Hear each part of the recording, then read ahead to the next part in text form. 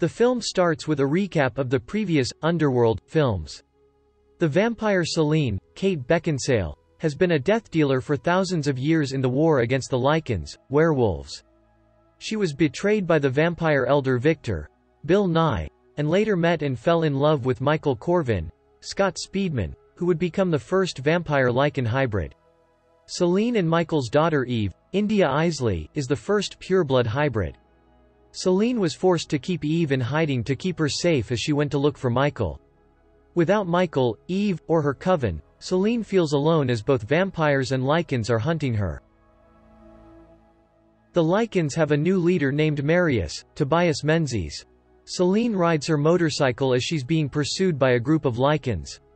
She battles the men as they morph into their wolf forms, just as David, Theo James, arrives to help her.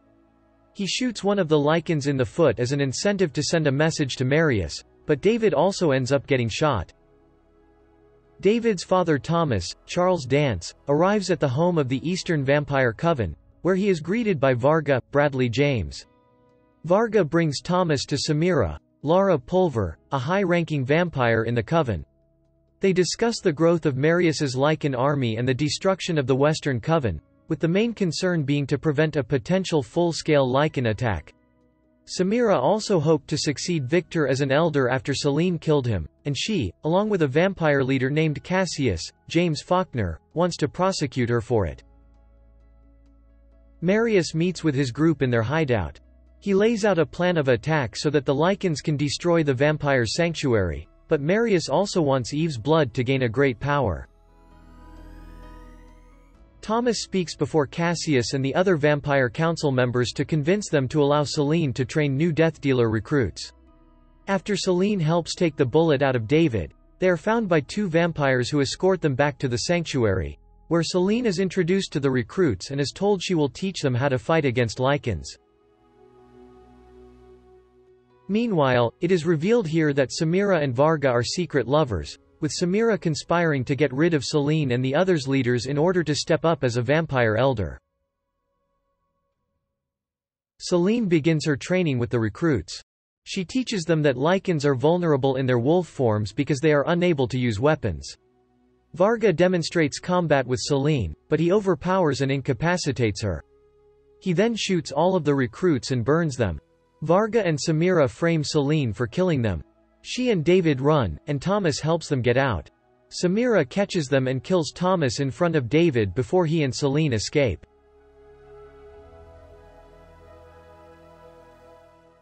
Semira sends a vampire named Alexia, Daisy Head, out to find Selene and David. Alexia meets with Marius, as they are engaged in a forbidden affair.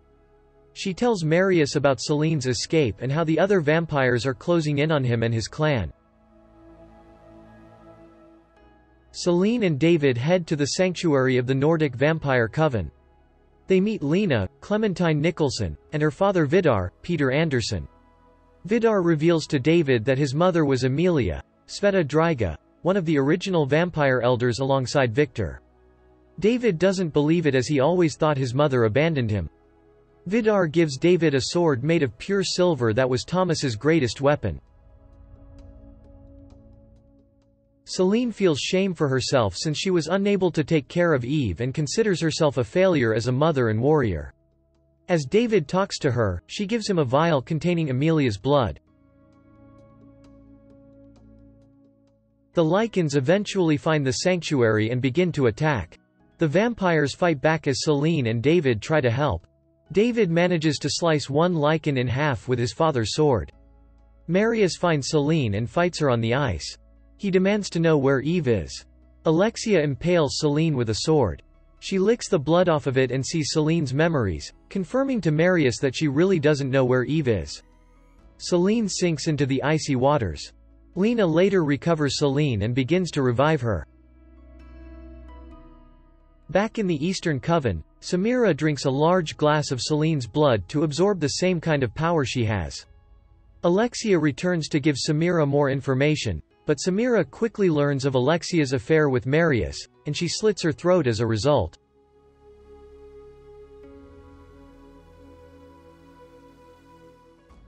David goes to confront Semira and the council. He tells them that he is Amelia's son. Knowing his claim would be challenged, he gives Cassius the vial with his mother's blood. Cassius drinks it and sees Amelia's memories, confirming the truth that David is the last pureblood. Semira orders Varga to kill David, but he has shifted his allegiance to the rightful leader. Varga orders Semira to be detained.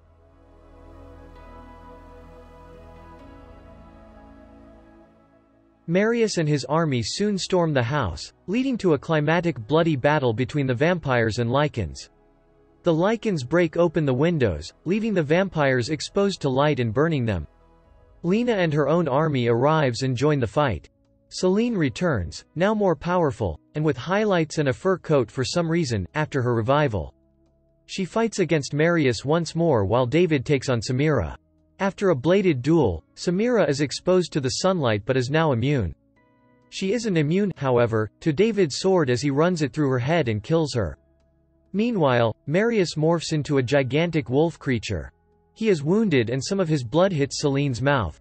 She sees into his memories and learns that Marius found Michael and murdered him. Selene manages to rip Marius's spine out, ending him for good.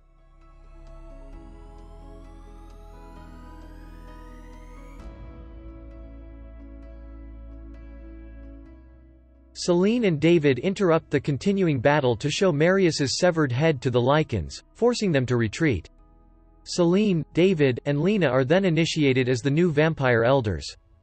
Selene thinks that for now, she may have found peace. The film ends with a brief clip of Selene seeing Eve walking on the ice outside the Nordic Coven sanctuary.